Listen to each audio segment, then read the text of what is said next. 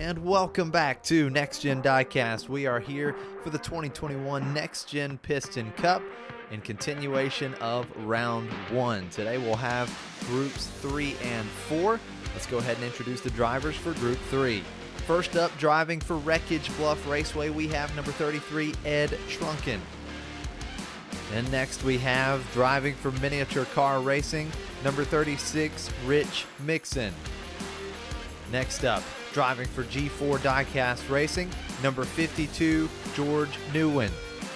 And then last but not least, driving for Crime Syndicate Racing, number 68, HJ Hollis. The drivers are ready to get started. Heat one, we've got Mixon and Hollis in row one, New-Win and Truncan in row two, and we're racing.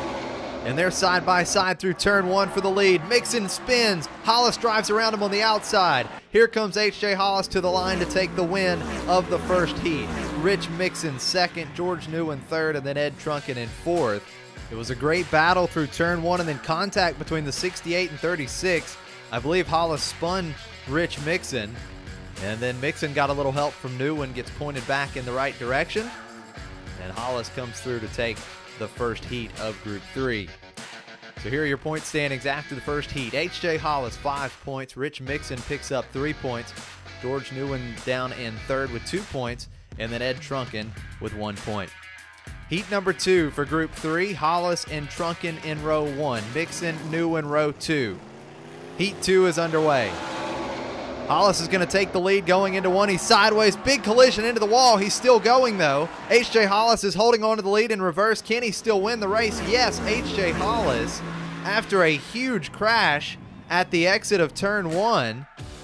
Let's see what happens. He's sideways, contact with the wall. He goes flying through the air, completely airborne. He's able to land the car in reverse, keep it going all the way down the track, and take the win. Unbelievable. What a job done by H.J. Hollis there. Let's watch it again. He was completely airborne, full rotation in midair. Watch this. I mean, he's a few feet off the ground right there. H.J. Hollis putting on a show, able to come away with a big win after that crash. So, two races, two wins for H.J. Hollis. He's sitting up top with 10 points, six points ahead of Mixon, New-Win, and Truncan as they are all tied at four points apiece. So we are ready to go for Heat 3. Truncan, New-Win, row 1. Hollis and Mixon in row 2. Great start for Truncan. He's going to lead through turn 1. Here comes Hollis. He dive bombs into turn 2 and takes the lead. H.J. Hollis has done it again. Truncan finishes second. George New-Win in third. And Mixon with a DNF. He's stuck up in turn 2. But watch this move going into turn two from H.J. Hollis. He saw the door open and he takes advantage of it, forcing his way through for his third straight win. And with that win, H.J. Hollis has clinched a spot in round two. H.J. Hollis with 15 points, an eight point lead over Ed Truncan. George New-Win with six points, and then Rich Mixon in fourth with four points. We've got one more heat to go in Group 3. New-Win Mixon row one, Truncan Hollis row two. Can Hollis sweep group three? Good start for both New-Win and Mixon. Here they come into turn one. New-Win's going to lead. Mixon spins. Hollis goes into second. Here's the battle for the lead coming through turn two. George New-Win leading as they head to the line. It's going to be New-Win over Hollis. Mixon finishes third, and then Ed Truncan. So H.J. Hollis unable to sweep group three. But what a race. Hollis around Mixon and then puts up a fight for the lead, but New-Win elbows out and he's able to hold on and take the win in the final heat of Group 3. H.J. Hollis, your winner of Group 3. He finishes with three wins and 18 points, seven points ahead of George New-Win.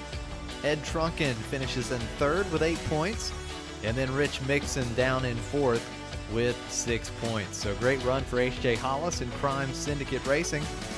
Let's go back and look at that wild ride that H.J. Hollis went on. What a crazy race that was. Definitely one of the most entertaining races that we've seen so far this season. And now let's introduce the drivers for Group 4. First up, driving for Wreckage Bluff Raceway, we've got number 15, Harvey Rodcap.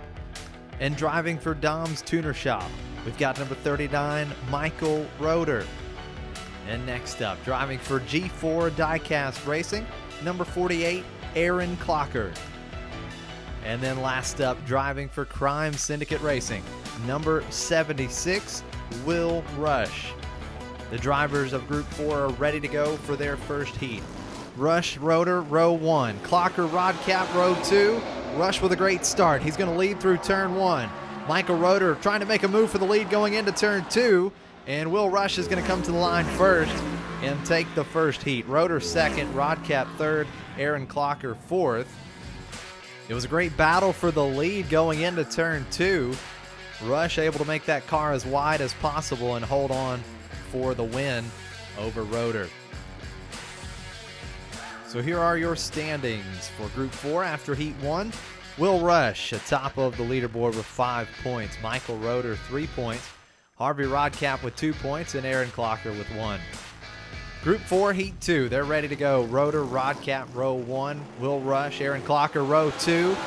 Good battle going into turn 1. Rotor's going to lead the way, but they're crashing behind him. We've got all kinds of trouble going through turn 2. Rotor's going to come to the line first. Big crash behind him. Rodcap's going to come to the line in second. And then with a very slow 16 second lap, Will Rush finishes third. And I believe Aaron Clocker, he is over on the infield grass of turn two, a DNF for Clocker. All kinds of trouble in turn two. So Rodcap enters sideways, and then he looks like he gets spun around on top of Will Rush's car. What a ride that Rodcap goes on. As he goes up on top of the 76, he spins all the way around, and then he keeps it going in reverse. He still picks up a second place finish and three points. But he's got to be a little dizzy after that ride. And so your standings after two heats. Michael Rotor now into the lead with eight points. Will Rush down to second with seven points. Harvey Rodcap in third with five points. And that DNF for Aaron Clocker, that hurts as he's still down at the bottom with just one point. Heat number three. Rodcap, Clocker, row one. Rotor, Rush, row two. Rodcap gets off to a great start. He's going to lead through turn one. Rotor coming up beside him. Rotor makes the pass going into two. Michael Rotor takes the win. Clocker second, and then a photo finish at the line between Rodcap and Rush. We'll have to go back and watch the replay. Rodcap gets off to a great start. Beautiful line through turn one. He gets sideways, maybe a little help from Rotor. Rotor with a nice overtake going through two, and then Rodcap spins, hits the wall pretty hard, and I think he just edges out the 76 at the line. Let's watch it one more time. Big spin, contact between Rodcap and Rush, and then Rodcap does just barely edge out Rush for third place. With that track time, Michael Rotor puts down a new fast time, 8.416, just the fourth driver so far this season to put down an eight second track time.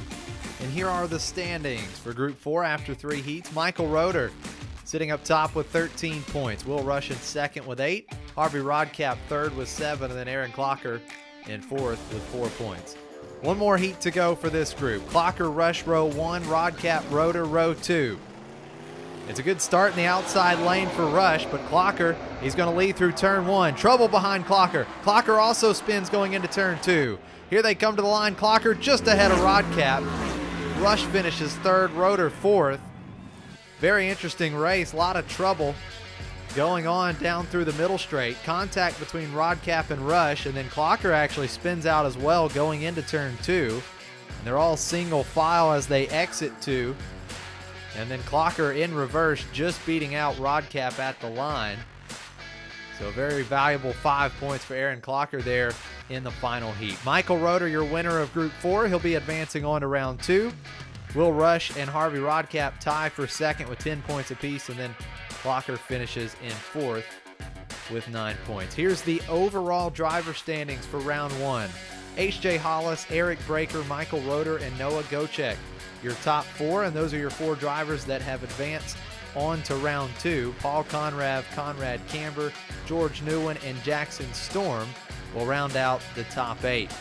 Something to pay close attention to is the asterisk and number right beside the driver name, as that is the total number of heat wins for each driver, and that will be the first tiebreaker in case of any tie in points between any drivers this season. We have 16 more drivers left to compete in round one, starting next week with groups five and six. Well, thank you so much for joining us today, and we'll see you next time.